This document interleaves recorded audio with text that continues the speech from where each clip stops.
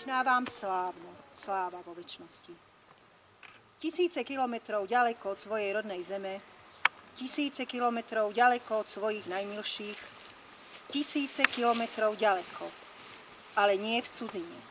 V Karpatoch zomreli ste. Večná vám sláva vo väčšnosti. Vážené dámy, vážení páni, milí hostia, dovolte, aby som vás pozdravila pri príležitosti významného výročia v novodobých dejinách Slovenska.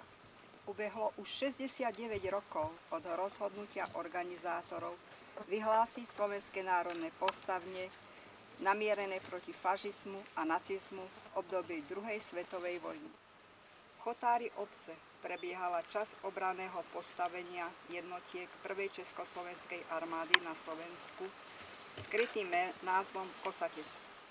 Veliteľom obraného úsreku bol štávny generál Martin Kučera. Ruské lietadla, ktoré skoro každú noc veľkým hukotom prelietavali naše vrchy, dovážali zbranie a príslušníkov Československej vojenskej brigády z Ruska na letisko Triduby pri Banskej Bystrici. Jedno z lietadiel žiaľ v nočnej hodine dňa 13.10.1944 stratilo orientáciu alebo dostalo poruchu a narazilo na vrch Sleme do stromov. V ňom tragicky zahynulo 19 vojakov. Na počes hrdinov Slovenského národného povstania i obetia leteckého nešťastia vás prosím, aby sme si zdali hold úctou minutou ticha.